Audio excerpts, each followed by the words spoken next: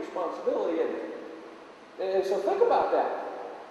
But now, suppose you're not the one that does the sinning. Suppose another believer, and this is in the context that we're going to talk about tonight, it's really amongst believers here. So let, let's let's let's put all this in the context of our little group here. Suppose you're not the one that does the sinning, but suppose somebody sins against you. You know, somebody, uh, what's the word today? Somebody wrongs you, or what, what everybody bows up and says, disrespected me. So, so now put yourself in a position somebody just dissed you, and, and what's supposed to happen? You know, that's what we're talking about here. Now, before he gets to that, though, what does he say? In verse 3, pay attention to yourselves. So what does he tell us? What does he tell us? Pay attention to yourselves. Yourselves, plural with an exclamation point. So what he's saying is look out for each other. You know, the best way to avoid having to, to, to forgive somebody or the best way having to ask somebody to forgive you is to not do wrong. You know, try to avoid situations. And, you know, as a student ministry, when y'all are tight, you do pretty well in this. You know, maybe holding each other accountable, looking out for one another. Girls, you try to keep the guys from doing stupid things, and guys, you know, likewise. And so y'all look out for each other, and you, you just as he says, pay attention to yourselves. That's what he's saying. But as you drift apart, and, and, and we can see this, and you see it, suddenly you're not so much interested in holding each other accountable. Suddenly you don't really care that much if somebody strays off and, and does something wrong. You know, you, you, and, and then pretty soon you get to the point where it's not even a matter of love anymore. You just look for a way to bust somebody and call them out. And that's not what we're talking about here. And so the key phrase, though, the, the whole idea here, when it says pay attention to yourselves, is prevention. Know, try to avoid getting into these situations.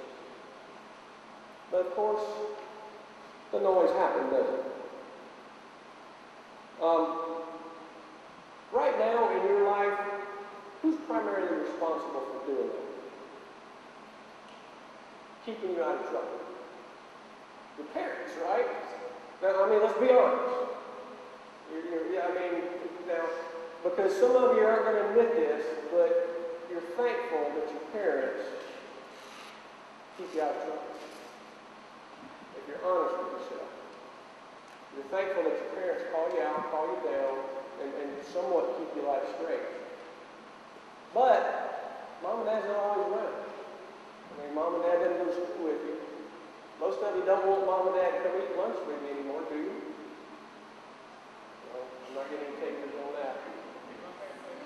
I, and, and, and I've tried to spare you that too. I mean, I'm filling in for Charlie, but I didn't think y'all would want me to come into the high school and eat lunch with you, so I kind of stay away from that too.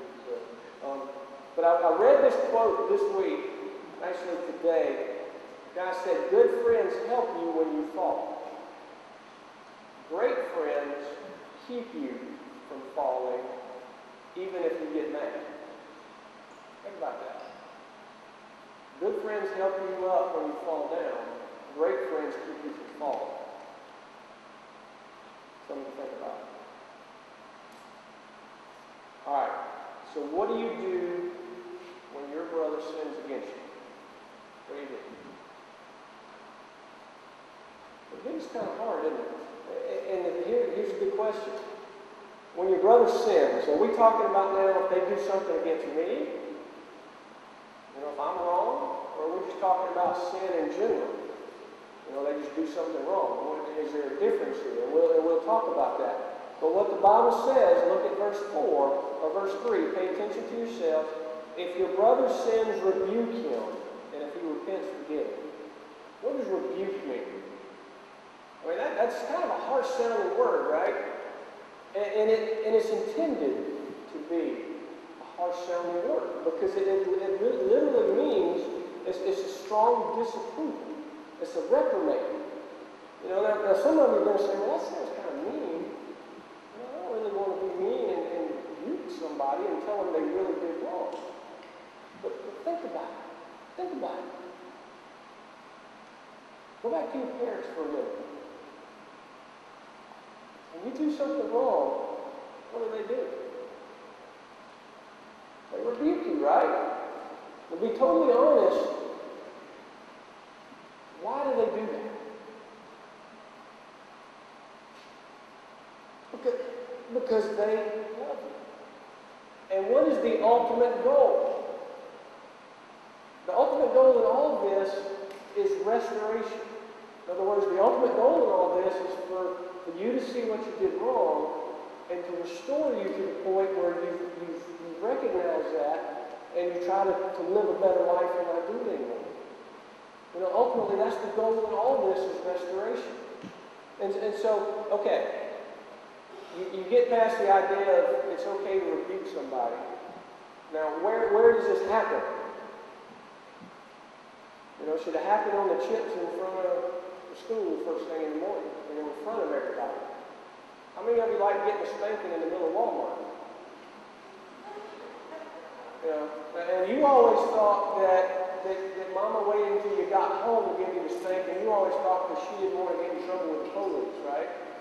When actuality, she was following a biblical principle here which says rebuke should take place in private and it should be loving and gentle and kind in private.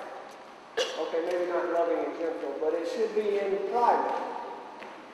But, do you see, I mean, because if somebody walks up to you tomorrow morning at school and calls you out in front of everybody, even if you did wrong, you aren't going to receive it very well, are you? No. We're talking about loving rebuke here in private. The goal is not to embarrass somebody and call them out in front of everybody. The goal, again, is restoration. The goal is restoration. The goal is to make sure they realized the wrong and whether or not it hurt you or was it just a sin against God. What's, you know, is there a difference there? Now, what if the sin is against me and not just something I, you know, caught somebody doing wrong? You know, it, there's different different things here. One is where you, you, notice somebody starting to stray, they're starting to fall, and, and you want to help them, so you call them out, you know, and you point out this and they, and they repent, and, and you've got some forgiveness going on. What happens though if, if they did you wrong? You know, I kind of mentioned that earlier. And the same thing applies. You still speak the truth in love, because remember the ultimate goal is repentance and restoration to get to the knowledge of what you did wrong. Now some of you are saying, well, I can't do that. I just can't. That, that's, you know, it's too hard. And, and, this is where the drama kicks in, isn't it? I meant to mention that earlier because some of you are going to say, well, you know, there's the normal wrong, and then there's the wrong where you just get all bent out of shape about it. You know, and when I say the drama kind, that's when it, you take to the airwaves and post it all over Facebook that so-and-so did you wrong. And if you do that, then you just strayed away from what we're talking about. What happened to the speaking the truth in love in private and giving somebody a chance to say, I'm sorry. If you go to Facebook with it, then we got a different problem. Doesn't matter if you call the name or not. Everybody knows who you're talking about, right? You know, I mean, when you say he is such a low life scum, everybody pretty much knows who you're talking about. You know, when you say all the boys and failures are players, whatever the heck, I'm still trying to figure out what that means. But anyway, you know, when you put this stuff on there, people know what you're talking about. You know, so that's not the way it's supposed to work. You know, sure, Facebook is a really great social medium, social tool, gives you guys a chance to communicate with each other. It is not a place to air your dirty laundry. It is not a place to call people out. It's not a place to seek forgiveness and restitution and restoration. You just don't do it in a public setting. I mean, does, does that not make sense does, to somebody? I mean, these, these, know, adults do it too. I mean, I go back to the original thing I said, the adult population is not doing a whole lot better than you are. In fact, probably worse. You know, we do the same thing. For some reason, we're braver sitting in our computer than we are in person. but, you know. You know, and the reason that is, is because we put stuff on Facebook and different things like that. Because we have no intention of forgiving. Or at least we're not going to forgive them until we've had a chance to drag them through mud. Or make them suffer a little bit, you know. We've got to stick it to them before I give them a chance to say I'm sorry. Ergun Caner saw this in a tweet today. He said, a person's ability to forgive, because anybody struggling with forgiveness right now? I think we can all say that. In, in some minor I mean, whether it's just your little brother or sister gets under your skin or, or, or, or you know, stepped on your earphones or, you know, broke your iPod or did something. We all struggle with forgiveness. Listen, listen to what he said. A person's ability to forgive is directly related, directly tied to their gratitude at being forgiven. You know what that means? How grateful are you to God for the forgiveness that you received? And if you have and carry unforgiveness in your heart, then that doesn't show that you are very grateful for what God has done for you. Gratitude directly affects ability to share the gospel.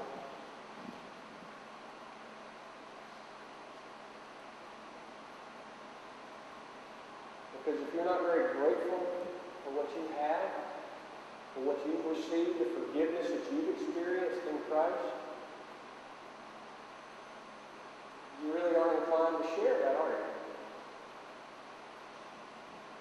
And if you're not very grateful for, for the forgiveness you have received, what incentive do you have to forgive everybody else? So you see where this kind of starts to break down a little bit? How can you dare claim forgiveness in Christ? Because you know what you're doing when you do that. You are holding that person to a higher standard than what God holds you to. God forgave you, you're not going to forgive them.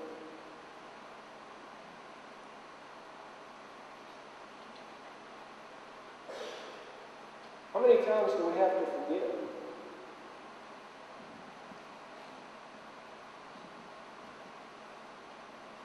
Jesus said if he sins against you seven times in the day, now obviously this is hyperbole here, he's exaggerating. If he sins against you seven times in a day, then you forgive him seven times. So what's he saying? You should forgive so much that you don't even keep track of it. I mean, that's, that's the extent to what he's saying is forgiveness should, should come so easily and so quickly that you don't even keep up with the wrongs that have been done to you. Now, all this doesn't mean that there aren't consequences. I mean, obviously, depending on the level of sin and what we're talking about here, we could go from one extreme to the other when somebody breaks the law they can seek forgiveness, you know, and there's still consequences for that.